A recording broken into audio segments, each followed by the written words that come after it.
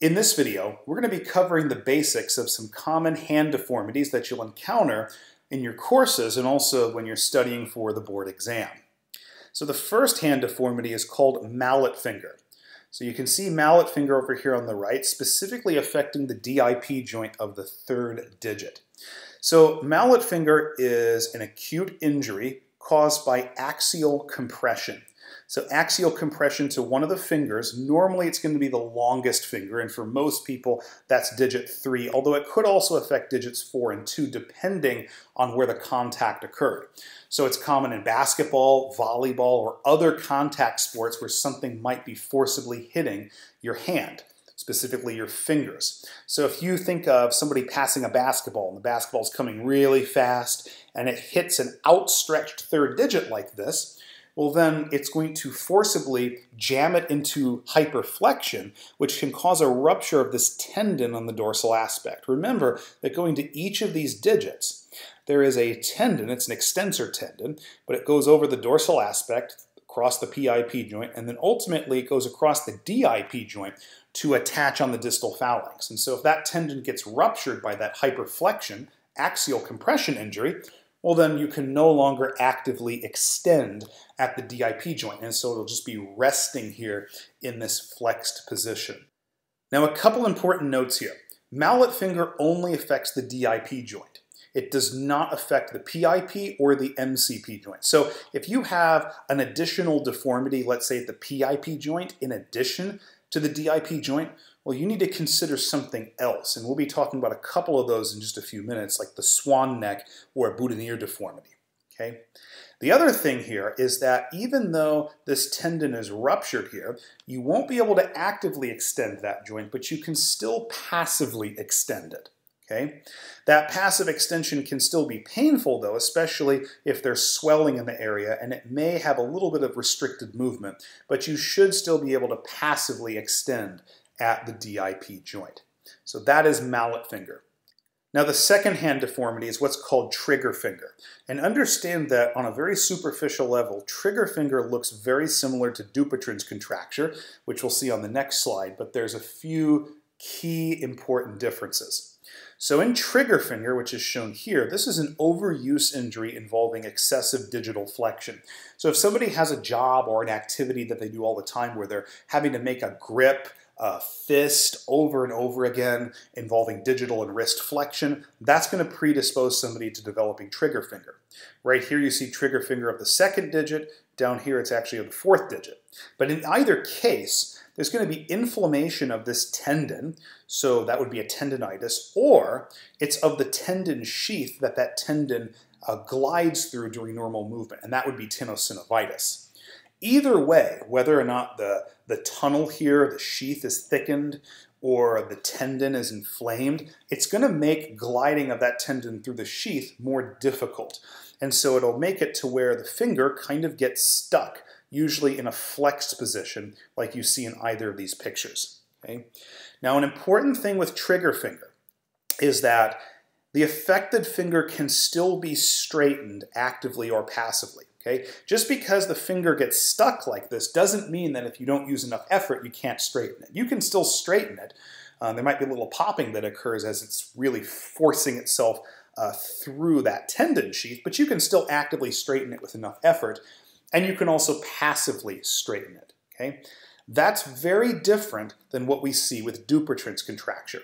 So Dupuytren's contracture is not an overuse injury. In fact, they're not even sure exactly what causes it, other than the fact that it's hereditary, it seems, and then there's other associated factors like diabetes, other inflammatory conditions, smoking, alcohol consumption, etc.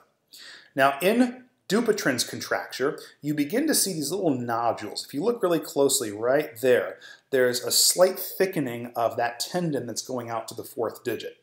And by the way, the fourth digit is the most commonly affected digit in Dupuytren's contracture, whereas trigger finger can affect any one of them fairly equally. So initially you see these nodules, and eventually as there's more and more inflammation, you end up getting that nodule converted just to a thickening in general of that tendon. So if you have your hand outstretched like this, you actually can see that thickened tendon there, even without contracting the muscle. Okay. Eventually, that thickening turns into an actual contracture where the tendon and or the muscle itself are shortened chronically. And so they're flexor tendons, so it forces these digits, here it's numbers 4 and 5 affected, into a flexed position. Now with trigger finger, if you did enough effort, you could actively extend the finger or passively you can do it. In Dupuytren's contracture, you are not going to be able to actively extend the digit because there's uh, an actual contracture there for the flexor tendons. But you also are not going to be able to passively extend it. So trigger finger can actively and passively extend with enough effort. Dupuytren's contracture, total extension, either passively or active, is impossible. Okay, That's a big difference between these two, other than the mechanism. Being hereditary, otherwise unknown for Dupuytren's, then trigger finger is overuse. Okay? Now, the swan neck deformity. That's what's shown right here. So a swan neck deformity is caused by damage to the palmar ligament, which facilitates PIP flexion, so flexion at the proximal interphalangeal joint right here. Okay? If you damage that ligament that normally facilitates PIP flexion, well then you're not going to have flexion at the PIP joint. In fact, you're going to have hyperextension at the PIP joint.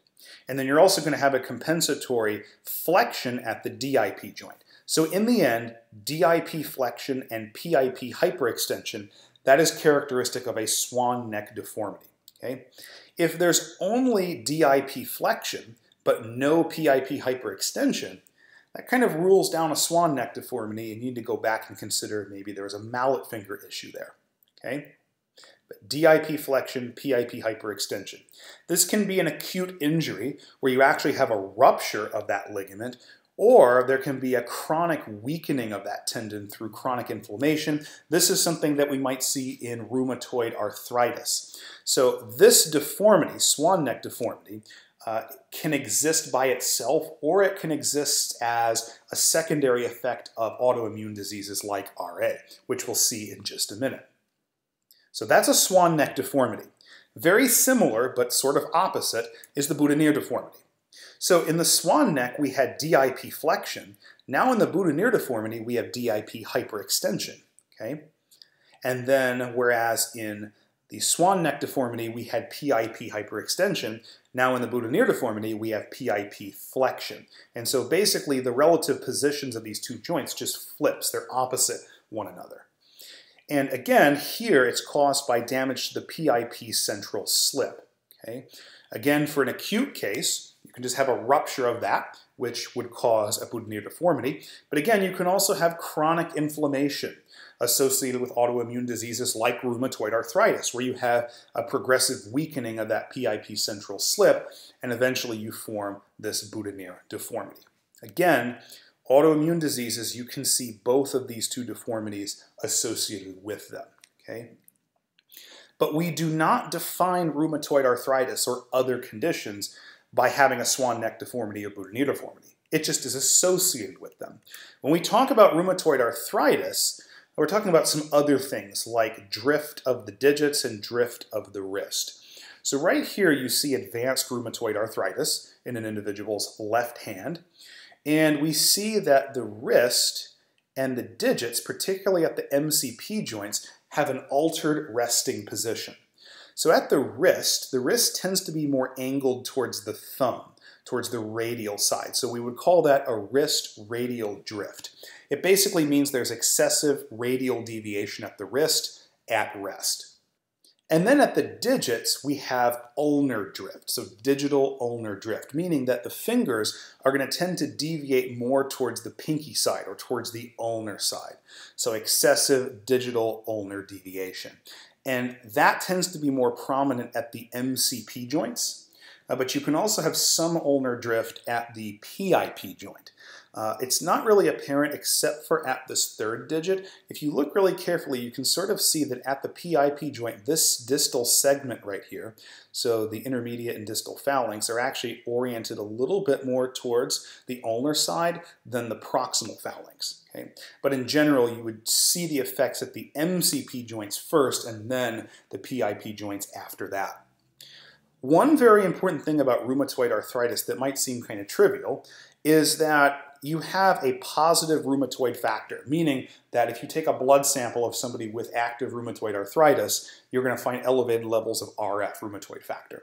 There are other autoimmune diseases where you also have elevated RF, but the reason that's important is because when we get to psoriatic arthritis, you no longer have elevated rheumatoid factor. In fact, it's negative for rheumatoid factor.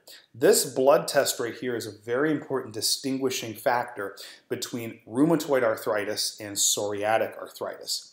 Another important thing with psoriatic arthritis is it tends to not affect the PIP and MCP joints as much. It actually affects the distal interphalangeal joint, the DIP joint more.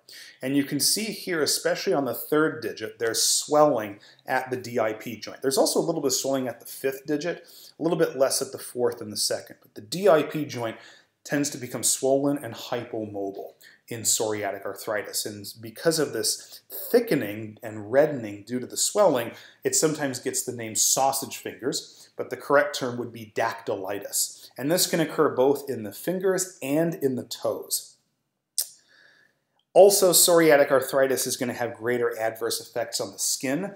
Uh, it's not always associated with psoriasis, but many times it is. And the psoriasis can occur everywhere. It can occur on the hands, but very commonly it actually occurs on the elbows. So you get this very dry, flaky, scaly skin, and that would be the skin issues that are associated with psoriatic arthritis.